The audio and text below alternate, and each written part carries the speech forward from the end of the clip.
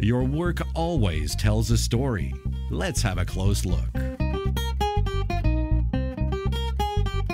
ਸਤਿ ਸ਼੍ਰੀ ਅਕਾਲ hello everyone welcome to Desi close look programme Desi close look ਦੇ ਵਿੱਚ ਤੁਹਾਡਾ ਸਵਾਗਤ ਕਰਦੇ ਹਾਂ ਅੱਜ ਮੇਰੇ ਨਾਲ ਇਹੋ ਜੀ ਸ਼ਖਸੀਅਤ ਹੈ ਜਿਸ ਤੋਂ ਤੁਸੀਂ ਚੰਗੀ ਤਰ੍ਹਾਂ ਵਾਕਿਫ ਹੋ ਇਹਨਾਂ ਦੇ ਨਾਮ ਤੋਂ ਇਹਨਾਂ ਦੇ ਗੀਤ ਸੰਗੀਤ ਤੋਂ ਤੁਸੀਂ ਨਾ ਸਿਰਫ ਇਸ ਸੰਗੀਤ ਨੂੰ ਤੁਸੀਂ ਇੰਜੋਏ ਕੀਤਾ ਹੈ ਪਾਰਟੀਆਂ ਦੇ ਵਿੱਚ, ਬਲਕਿ ਅੱਜ ਵੀ, ਜਦੋਂ ਵੀ ਇਹਨਾਂ ਦਾ ਨਾਮ ਤੁਸੀਂ ਸੁਣਦੇ ਹੋ, ਇਹਨਾਂ ਦੇ ਗਾਣੇ ਸੁਣਦੇ ਹੋ, ਤੁਹਾਡੇ ਕਦਮ ਆਪਣੇ ਆਪ ਥਿਰਕਣ ਲੱਗਦੇ ਹਨ। ਮੇਰੇ ਨਾਲ ਨੇ ਸਰਦਾਰਾ ਸਿੰਘ ਗਿੱਲ ਆਓ ਉਹਨਾਂ ਦਾ ਪ੍ਰੋਗਰਾਮ ਦੇ ਵਿੱਚ ਸਵਾਗਤ ਕਰਦੇ ਹਾਂ।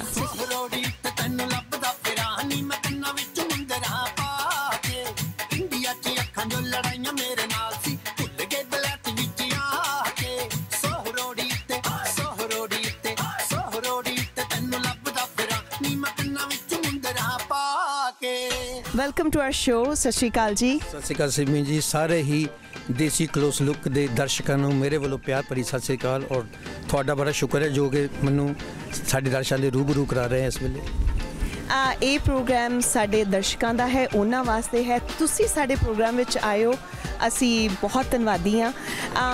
ਅੱਜ ਦੀ ਗੱਲਬਾਤ ਜੋ ਹੈ ਉਸ ਦੇ ਵਿੱਚ ਆਪਾਂ ਚਾਹੁੰਦੇ ਆ ਕਿ ਜਿਹੜੀ ਸਾਡੀ ਆਉਣ ਵਾਲੀ ਜਨਰੇਸ਼ਨ ਹੈ, ਜਿਹੜੀ ਮਿਊਜ਼ਿਕ ਜਿਹੜੀ ਮਿਊਜ਼ਿਕ ਇੰਡਸਟਰੀ ਦੇ ਵਿੱਚ ਪਾਰਟਿਸਿਪੇਟ ਕਰਨ ਜਾ ਰਹੀ ਹੈ ਜਾਂ ਆਲਰੇਡੀ ਇਨਵੋਲਵਡ ਹੈ, ਉਹਨਾਂ ਨੂੰ ਆਪਾਂ ਇੱਕ ਅਸਲੀਅਤ ਜੋ ਹੈ, ਅਸਲੀ ਪਿਕਚਰ ਜੋ ਹੈ, ਇਸ ਇੰਡਸਟਰੀ ਦੀ ਉਹ ਦਿਖਾਈਏ। ਅੱਜ ਕੱਲ ਜੀ ਮਿਊਜ਼ਿਕ ਬਹੁਤ ਮਾਡਰਨ ਹੋ ਗਿਆ। ਸੋ ਪੁਰਾਣੇ ਜ਼ਮਾਨੇ 'ਚ ਬੜਾ ਔਖਾ ਸੀ। ਕੋਈ ਵੀ ਚੀਜ਼ ਕਰਨੀ ਜਾਂ, ਔਰ ਸਭ ਤੋਂ ਇੰਪੋਰਟੈਂਟ ਚੀਜ਼ ਆ, ਤੁਹਾਨੂੰ ਇੱਕ ਪੈਸ਼ਨ ਹੋਣਾ ਚਾਹੀਦਾ ਤੁਹਾਡਾ। ਜੇ ਤੁਸੀਂ ਸੰਗੀਤਕਾਰ ਬਣਨਾ ਜਾਂ ਸਿੰਗਰ ਬਣਨਾ ਜਾਂ ਕੋਈ ਮਿਊਜ਼ੀਸ਼ੀਅਨ ਬਣਨਾ ਕੁਝ ਵੀ ਆ, ਤੁਹਾਡੀ ਲਗਨ ਹੋਣੀ ਚਾਹੀਦੀ ਆ। ਉਸ ਦੇ ਵਿੱਚ ਇਹ ਨਾ ਸੋਚੇ ਵੀ ਮੈਂ ਇਹ ਪੈਸੇ ਲਈ ਕਰਨਾ ਸਿਰਫ। ਵੀ ਓਵਰਨਾਈਟ ਸਟਾਰਡਮ ਮਿਲ ਜਾਊਗੀ ਮੈਂ ਪੈਸਾ ਬਹੁਤ ਬਣਾਉਂਗਾ। ਉਹ ਤੁਹਾਡੀ ਇਹ ਹੋਣੀ ਚਾਹੀਦੀ, ਮੈਨੂੰ ਉਸ ਚੀਜ਼ 'ਚ ਪੈਸ਼ਨ ਹੋਣਾ ਚਾਹੀਦਾ, ਪੈਸਾ ਬਾਅਦ ਚ ਆ ਜਾਊਗਾ। ਉਹ ਤਾਂ ਵਾਹਿਗੁਰੂ ਜੇ ਆਇਆ ਤਾਂ ਆਪੇ ਆ ਜਾਣਾ, ਕਿਸਮਤ ਤੁਹਾਡੀ ਆ। ਲੇਕਿਨ ਤੁਹਾਨੂੰ ਅਸੀਂ ਜਾਂ ਸ਼ੁਰੂ ਕੀਤਾ ਸੀ 79 ਚ ਸ਼ੁਰੂ ਕੀਤਾ ਬਟ ਮੈਂ ਛੋਟਾ ਹੁੰਦਾ ਗੁਰੂ ਘਰ ਗੁਰਦੁਆਰੇ ਸ਼ਬਦ ਮੈਂ ਤੇ ਮੇਰੇ ਬ੍ਰਦਰ ਪੜ੍ਹਦੇ ਹੁੰਦੇ ਸੀ, ਹਾਂਜੀ। ਉੱਥੇ ਅਸੀਂ ਸ਼ਬਦ ਤੇ ਧਰਮ ਗੀਤ ਗਾਉਂਦੇ ਹੁੰਦੇ ਸੀ। ਇਹ ਤਾਂ ਕਰੀਅਰ ਸੋਚਿਆ ਵੀ ਨਹੀਂ ਸੀ ਵੀ ਸਾਡਾ ਇਹ ਕਰੀਅਰ ਬਣਨਾ ਭੰਗੜਾ ਸਰ ਫਿਰ ਵੀ 4-5 ਸਾਲ ਪ੍ਰੋਗਰਾਮ ਲਾਉਂਦੇ ਸੀ, ਪਰ ਕੋਈ ਪੈਸਾ ਨਹੀਂ ਸੀ। ਪੈਸੇ ਕਰਕੇ ਨਹੀਂ ਸੀ ਲਾ ਰਹੇ। ਪੈਸਾ ਜਿੰਨਾ ਕੁ ਆਉਂਦਾ ਅਸੀਂ ਰਿਕਾਰਡਿੰਗ ਤੇ ਖਰਚਾ ਕਰ ਦਿੱਤਾ ਸੀ। ਸੋ ਇੰਨਾ ਕਿ ਸਕਾ ਵੀ ਸਾਡੀ ਲੋਕਾਂ ਦੀ ਜਾਣਕਾਰੀ ਬਣ ਜਾਵੇ ਹਾਂਜੀ।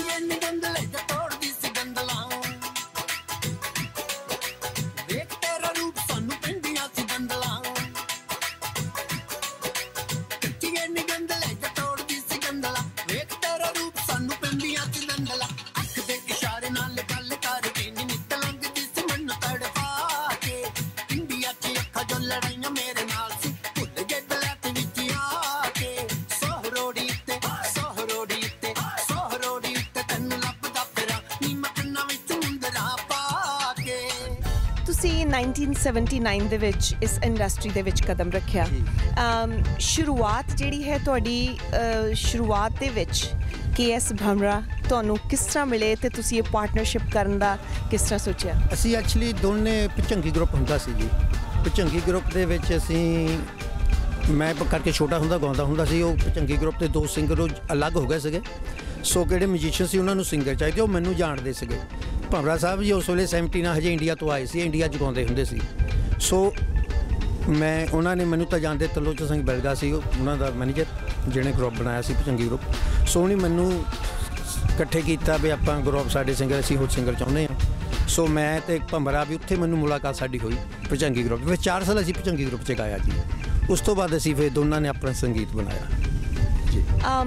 ਆਪਾਂ ਹੁਣੇ ਹੀ ਗੱਲਬਾਤ ਕਰ ਰਹੇ ਸੀ ਪਹਿਲਾਂ ਜਦੋਂ ਆਪਾਂ ਹੁਣ ਅੱਜ ਮਿਲੇ ਆ ਅ, ਕਿ ਕਈ ਹੋਰ ਗਰੁੱਪਸ ਜਿਹੜੇ ਨੇ ਉਹਨਾਂ ਨੇ ਲੋਕਾਂ ਦਾ ਜੋ ਨਜ਼ਰੀਆ ਸੀ 뮤직 ਦੇ ਵੱਲ ਉਹ ਬਿਲਕੁਲ ਹੀ ਚੇਂਜ ਕਰ ਦਿੱਤਾ ਜਿਨ੍ਹਾਂ ਵਿੱਚ ਕਿ ਤੁਹਾਡਾ ਗਰੁੱਪ ਵੀ ਕਾਫੀ ਜ਼ਿਆਦਾ ਪਪੂਲਰ ਹੋਇਆ ਸਾਡੇ ਸਾਡੇ ਸਿਮੀ ਜੀ ਸਾਡੇ ਯੰਗ ਜਨਰੇਸ਼ਨ ਵਾਸਤੇ ਕੋਈ 뮤직 ਹੈ ਨਹੀਂ ਸੀ ਉੱਤੇ ਉਸ ਟਾਈਮ ਤੇ ਉਹ ਗੋਰੇ ਵੈਸਟਰਨ ਜਾਂ ਡਿਸਕੋ ਜਾਂਦੇ ਸੀ ਹੁਣ ਸਾਡੇ ਸ਼ੋਆਂ ਤੇ ਜਾਣਾ ਗੋਰਿਆਂ ਦੀ 뮤직 ਸੁਣਨੀ, ਸਾਡਾ ਕੋਈ ਹੈ ਨਹੀਂ ਸੀ।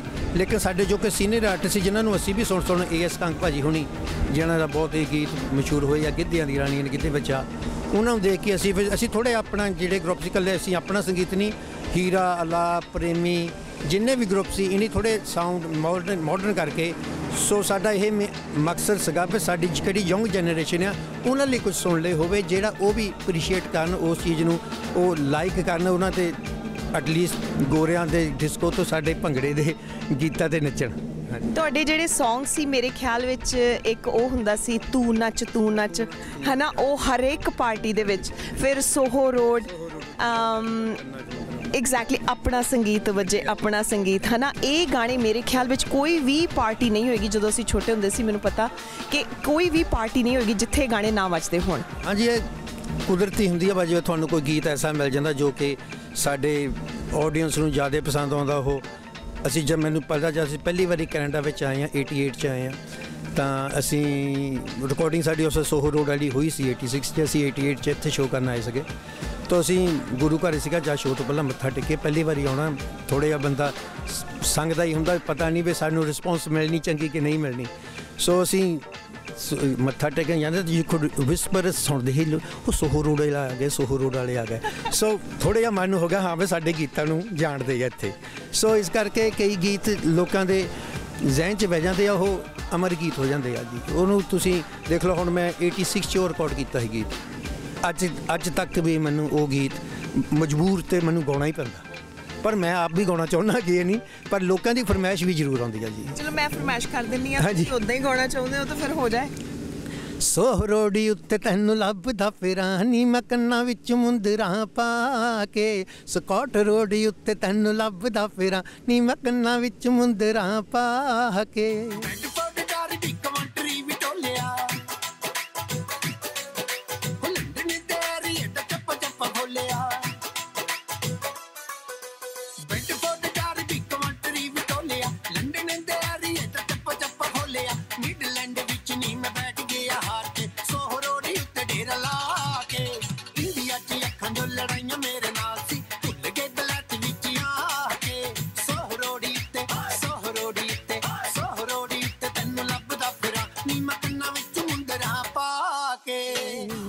ਅੱਛਾ ਮੇਰੀ ਗੱਲ ਸੁਣੋ ਇਹ ਗਾਣੇ ਤੋਂ ਬਾਅਦ ਤੁਸੀਂ ਮੁੰਦਰਾਂ ਪਾਈਆਂ ਸੀ ਕਿ ਪਹਿਲਾਂ ਹੀ ਪਾਈਆਂ ਹੋਈਆਂ ਮੈਂ ਸੀ? ਬਾਅਦ ਚ ਪਾਈਆਂ ਸੀ ਜੀ।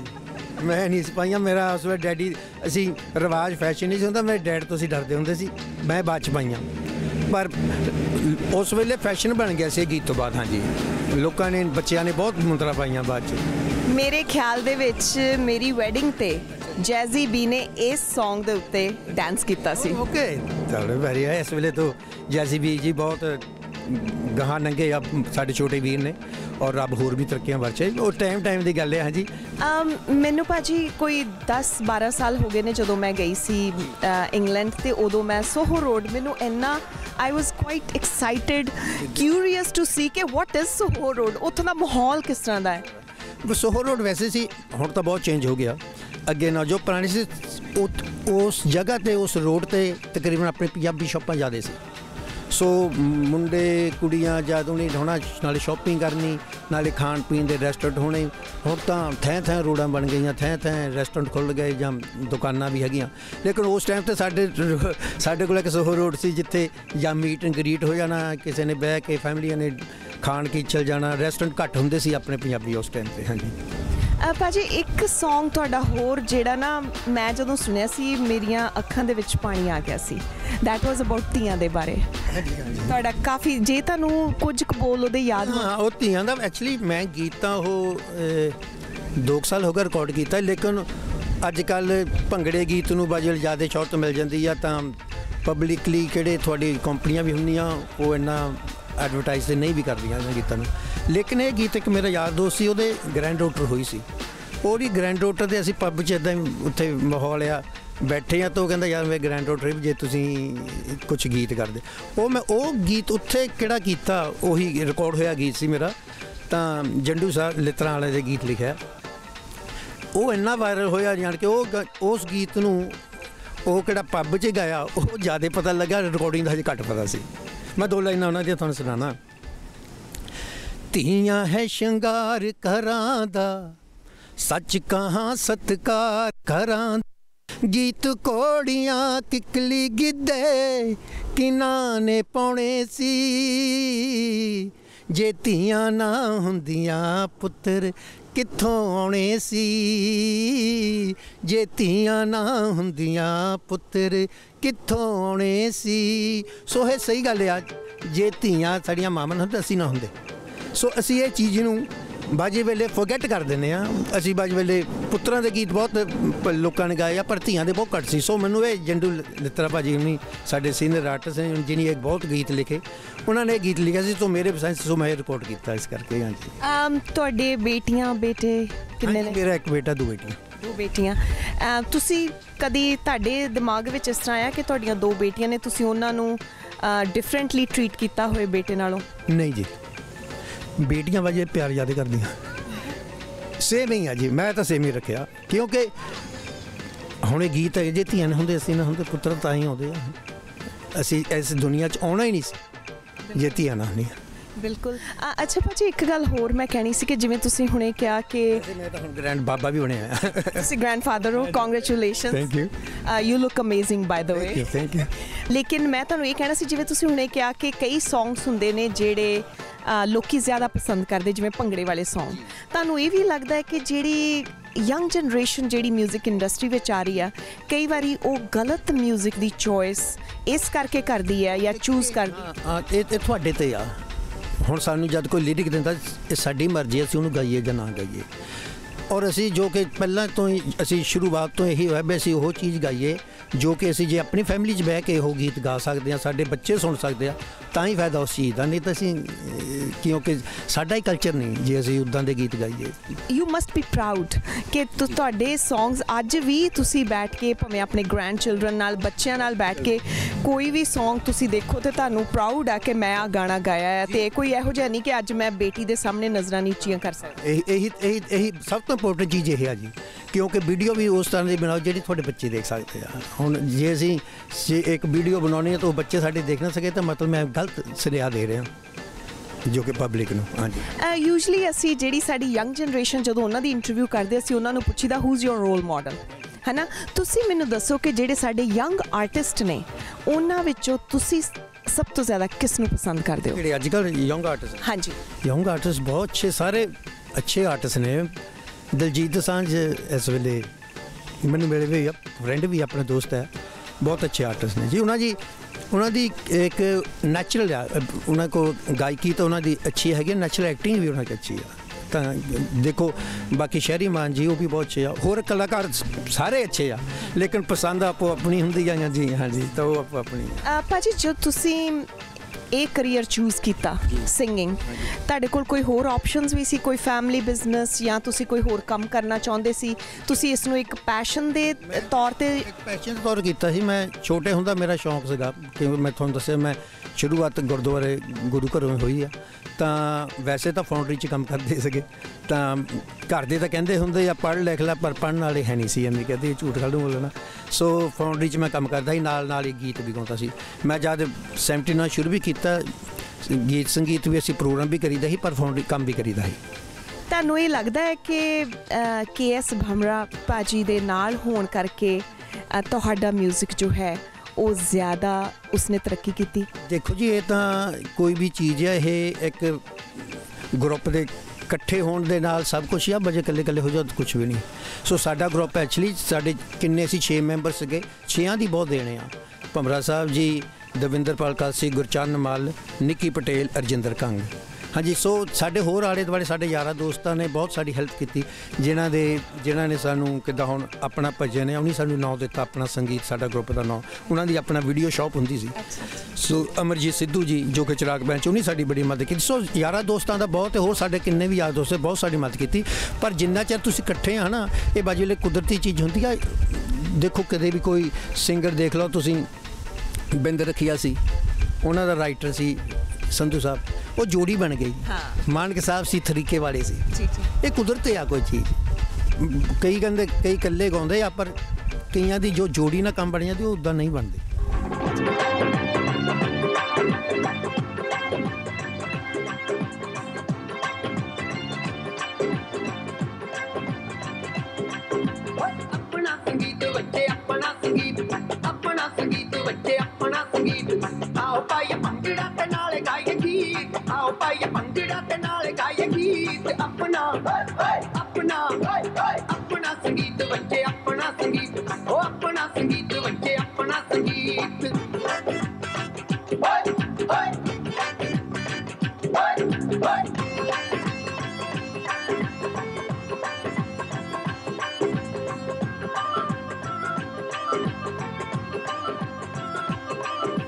ਭਾਜੀ ਹੁਣ ਥੋੜੀ ਪਿੰਡ ਪਿੰਡ ਦੀ ਗੱਲ ਕਰੀਏ। ਹਾਂਜੀ। ਕੀ ਕਿਹੜਾ ਤੁਹਾਡਾ ਪਿੰਡ ਹੈ? ਸਤਾਵੇ ਪਿੰਡ ਦੀਆਂ ਗਲੀਆਂ ਦੇ ਗੁਰਦਾਸ ਭਾਜੀ ਦਾ ਗੀਤ। ਬਿਲਕੁਲ ਹਾਂਜੀ। ਬਿਲਕੁਲ। ਪਿੰਡ ਮੇਰਾ ਹੈਗਾ ਮਜਾਰਾ ਰਾਜਾ ਸਾਹਿਬ ਦਾ। ਇਹ ਬੰਗੀਆਂ ਦੇ ਲਾਗੇ ਆ ਜੀ। ਓਕੇ। ਹਾਂਜੀ ਹਾਂਜੀ। ਤੇ ਤੁਸੀਂ ਕਦੋਂ ਇੰਗਲੈਂਡ ਗਏ? ਕਿਸੇ ਨੇ ਸਪਾਂਸਰ ਕੀਤਾ? ਨਹੀਂ ਨਹੀਂ ਮੇਰੇ ਡੈਡ ਪਹਿਲਾਂ ਗਏ ਸੀ ਇੰਗਲੈਂਡ। ਸੋ ਡੈਡ ਨੇ ਸਾਨੂੰ ਫੈਮਿਲੀ ਮੇਰੇ ਮੇਰੇ ਦੋ ਬੜੇ ਬ੍ਰਦਰ ਮੇਰੇ ਤੋਂ ਮੈਂ ਛੋਟਾ ਹਾਂ। ਸਾਡੀ ਮਦਰ ਅਸੀਂ ਫਿਰ ਡੈਡ ਨੇ ਸਾਡੇ ਨੇ ਮੰਗਾਇਆ ਸੀ ਇਨ 1963 ਓਕੇ। 1963 ਵਿੱਚ। ਅੱਛਾ। ਹਾਂਜੀ। ਸੋ ਜ਼ਿਆਦਾ ਸਮਾਂ ਇੰਗਲੈਂਡ ਹੀ ਗੁਜ਼ਾਰਿਆ ਜੀ। ਮੇਰੇ ਖਿਆਲ ਵਿੱਚ ਸਾਰਾ ਹੀ ਦਬਾਬਾ ਕੋਈ ਨਾ ਕੋਈ ਫੈਮਿਲੀ ਦਾ ਮੈਂਬਰ ਮੈਂ ਵੈਸੇ 5-6 ਸਾਲਾਂ ਦਾ ਹੀ ਸੀ ਜਦ ਮੇਰੇ ਡੈਡ 57 ਚ ਚਲੇ ਗਏ ਸੀ ਆ was only few months old. ਹਾਂਜੀ ਹਾਂਜੀ। ਤਾਂ ਫਿਰ ਉਹਨੇ ਸਾਨੂੰ ਮੰਗਾਇਆ ਸੀ ਉੱਤੇ ਫਾਊਂਡਰੀ ਚ ਕੰਮ ਕਰਦੇ ਸੀ ਹਾਂਜੀ। ਤੇ ਹੁਣ ਜਦੋਂ ਤੁਸੀਂ ਵਾਪਸ ਪਿੰਡ ਜਾਂਦੇ ਹੋ। ਕਿਸ ਤਰ੍ਹਾਂ ਦਾ ਮਾਹੌਲ ਉੱਥੇ ਲੱਗਦਾ ਤੁਹਾਨੂੰ? ਮਾਹੌਲ ਅੱਛਾ ਹੈ ਪਰ ਮਾਹੌਲ ਇੰਡੀਆ ਦਾ ਹੁਣ ਚੇਂਜ ਵੀ ਆ ਜੀ।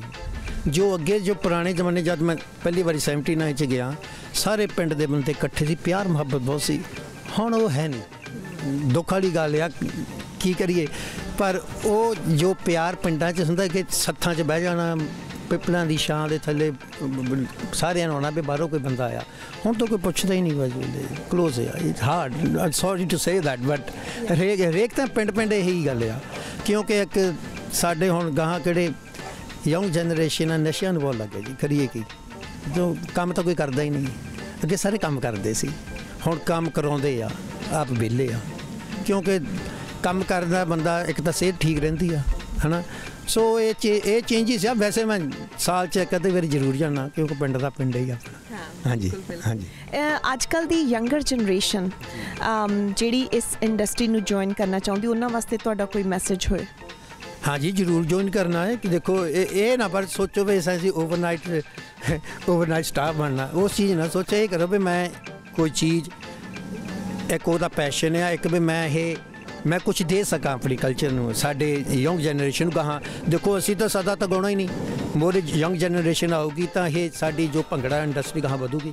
ਸੋ ਉਹਨੂੰ ਇਹ ਸੋਚਣਾ ਚਾਹੀਦਾ ਵੀ ਹਾਂ, ਮੈਂ ਕੁਝ ਚੰਗਾ ਕਰਾਂ, ਅੱਛੇ ਗੀਤ ਗਾਵਾਂ, ਅੱਛੀਆਂ ਵੀਡੀਓ ਬਣਾਵਾਂ, ਜੋ ਕਿ ਪਰਿਵਾਰ ਤੌਰ ਤੇ ਜੋ ਆਪਾਂ ਪਹਿਲਾਂ ਵੀ ਗੱਲ ਕੀਤੀ ਆ, ਉਹ ਗੀਤ ਹੋਣੇ ਚਾਹੀਦੇ ਆ। ਲੇਕਿਨ ਚੋਇਸ ਆਪੋ ਆਪਣੀ ਆ ਜੀ। ਬਾਜੀ ਵੇਲੇ ਮਾੜੇ ਗੀਤ ਗਾ ਕੇ ਵੀ ਕਿਸੇ ਨੂੰ ਸਟਾਰਡਮ ਮਿਲ ਜਾਂਦੀ ਆ, ਉਹ ਗੁੱਡ ਲੱਕ ਟੂ them ਭਾਜੀ ਕਈ ਵਾਰੀ ਕੋਈ ਗਾਣਾ ਆਪਾਂ ਨੂੰ ਬਿਲਕੁਲ ਹੀ ਡਿਸਕਰੇਜ ਕਰ ਦਿੰਦਾ ਉਹ ਨਹੀਂ ਕਿਸੇ ਨੇ ਸੁਣਿਆ ਕਿਸੇ ਨੇ ਲਾਈਕ ਨਹੀਂ ਕੀਤਾ ਪਪੂਲਰ ਨਹੀਂ ਹੋਇਆ ਐਂਡ ਕਦੀ ਤੁਹਾਨੂੰ ਇਸ ਤਰ੍ਹਾਂ ਮਹਿਸੂਸ ਹੋਇਆ ਜਦੋਂ ਤੋਂ ਤੁਸੀਂ ਇਹ ਆਪਣਾ ਸਫ਼ਰ ਸ਼ੁਰੂ ਕੀਤਾ ਹੈ ਕਿ ਮੈਂ ਇਸ profession ਨੂੰ ਛੱਡ ਕੇ ਕੁਝ ਹੋਰ ਕਰਾਂ ਜਾਂ ਕਦੀ ਤੁਸੀਂ ਡਿਸਕਰੇਜ ਹੋਏ ਹੋਵੋ ਨਹੀਂ ਵੈਸੇ ਕਿਉਂਕਿ ਇਹ ਪਤਾ ਨਹੀਂ 뮤직 ਦਾ ਪਿਆਰ ਹੀ ਇੰਨਾ ਸੀ ਕਿਉਂਕਿ ਮੈਂ ਦੋ ਕੰਮ ਕਰਦਾ ਸੀ ਵੈਸੇ ਤਾਂ 뮤직 ਕਰਦਾ ਸੀ ਜੋ ਮੇਰਾ ਪੈਸ਼ਨ ਸੀ ਜੋ ਮੈਨੂੰ ਹੌਬੀ ਸੀ ਪ੍ਰੋਫੈਸ਼ਨ ਬਾਅਦ ਚ ਬਣਿਆ ਵੈਸੇ ਮੈਂ ਵੈਸੇ ਵੀ ਫਾਊਂਡਰੀ 'ਚ ਕੰਮ ਕਰਦਾ ਸੀ ਪੁਰਾਣੇ ਜ਼ਮਾਨੇ 'ਚ ਉੱਥੇ ਫਾਊਂਡਰੀ ਕੰਮ ਹੁੰਦੀਆਂ ਸੀ। ਕੰਮ ਤਾਂ ਕਰਨਾ ਪੈਂਦਾ, ਦੇਖੋ ਪੈਸਾ ਤਾਂ ਸਾਡਾ ਉੱਥੇ ਕਮਾਉਣਾ ਹੁੰਦਾ ਸੀ, ਜੋ ਕਿ ਰੋਟੀ ਰੋਟੀ ਰੋਜੀ ਲਈ ਤੁਸੀਂ ਗਏ ਸੀ ਇੰਗਲੈਂਡ, ਰੋਟੀ ਰੋਜੀ ਲਈ ਕੰਮ ਤਾਂ ਕਰਨਾ ਹੀ ਪੈਂਦਾ ਜੀ, ਹਨਾ? ਸੋ ਇਹ ਤਾਂ ਬਾਅਦ ਚ ਪ੍ਰੋਫੈਸ਼ਨ ਬਣ ਗਿਆ।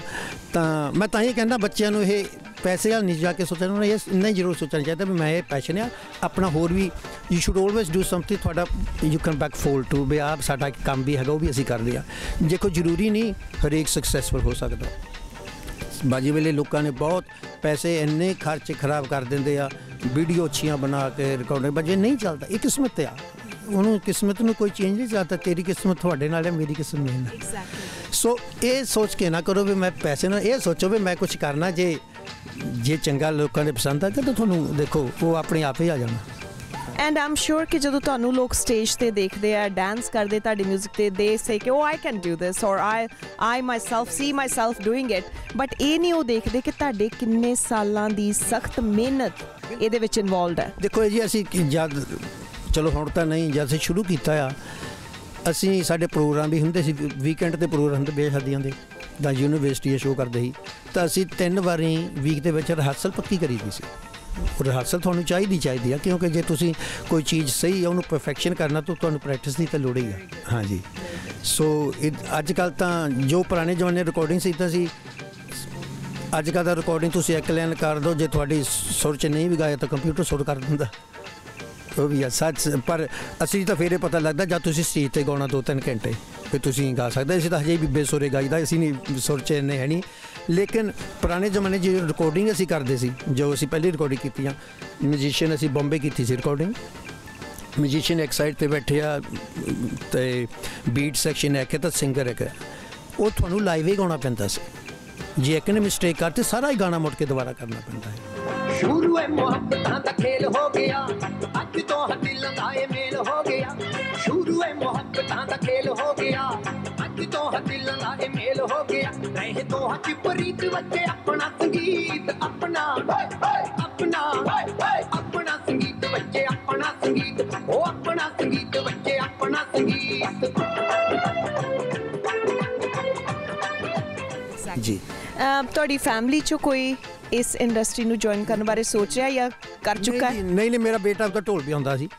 ਤਾਂ ਹੁਣ ਹੁਣ ਉਹਦੇ ਫੈਮਿਲੀ ਮੈਨ ਆ ਹੁਣ ਘਟ ਜਾਂਦਾ ਕੰਮ ਕਰਦਾ। ਤਾਂ ਵੈਸੇ ਉਹ ਇੱਕ ਨੱਚਦਾ ਸੰਸਾਰ ਭੰਗੜਾ ਗਰੁੱਪ ਦੇ ਵਿੱਚ ਢੋਲ ਵਜਾਉਂਦਾ ਹੁੰਦਾ ਸੀ ਹਾਂਜੀ। ਉਹਨੂੰ ਢੋਲ ਦਾ ਸ਼ੌਂਕ ਸੀਗਾ। ਬੇਟਾ ਤੁਹਾਡਾ ਐਜ਼ ਅ ਪ੍ਰੋਫੈਸ਼ਨ ਹੁਣ ਕੀ ਕਰਦਾ? ਨਹੀਂ ਉਹ ਵੈਸੇ ਕੰਮ ਕਰਦਾ ਗੋਰਿਆਂ ਦੀ ਫਾਰਮ ਦੇ ਵਿੱਚ ਕੰਮ ਕਰਦਾ ਜੀ ਆਫਿਸ ਦੇ ਵਿੱਚ। ਹਾਂਜੀ ਹਾਂਜੀ। ਤੁਸੀਂ ਕਦੀ ਉਹਦੇ ਤੇ ਕੋਈ ਪ੍ਰੈਸ਼ਰ ਪਾਇਆ ਹੋਏ ਨਹੀਂ ਕਿ ਦੇਖੋ ਇਹ ਚੀਜ਼ ਪ੍ਰੈਸ਼ਰ ਪਾ ਕੇ ਨਹੀਂ ਹੁੰਦੀ। ਕੋਈ ਵੀ ਜੇ ਕਿਸੇ ਨੂੰ ਮੈਂ ਕਹਾਂ ਮੈਂ ਮੈਂ ਬੇਟੇ ਨੂੰ ਤੂੰ ਡਾਕਟਰ ਬਣਨਾ ਨਹੀਂ ਇਦਾਂ ਨਹੀਂ ਬਣ ਸਕਦਾ। ਉਹ ਚ ਆਪਣਾ ਪੈਸ਼ਨ ਹੋਣਾ ਚਾਹੀਦਾ। ਉਹ ਕਹਿੰਦਾ ਮੈਂ ਢੋਲ ਲਾਈਕ ਕਰਦਾ। ਮੈਂ ਕਿਹਾ ਸ਼ੌਂਕ ਨਾਲ ਜੇ ਕਰਨਾ ਦਿਲ ਲਾ ਕੇ ਕਰ। ਯਾਨੀ ਕਿ ਮੈਂ ਹੁਣ ਐਵੇਂ ਕਹਿੰਦਾ ਮੈਂ ਤੂੰ ਸਿੰਗਰ ਬਣ ਜਾ। ਨਹੀਂ ਨਹੀਂ ਸਿੰਗ ਉਹ ਜ਼ਰੂਰੀ ਨਹੀਂ ਹੁੰਦਾ। ਦੇਖੋ ਰਫੀ ਸਾਹਿਬ ਸੀ ਰਫੀ ਦੇ ਬੇਟੇ ਜ਼ਰੂਰੀ ਨਹੀਂ ਸਿੰਗਰ ਬਣਨਾ।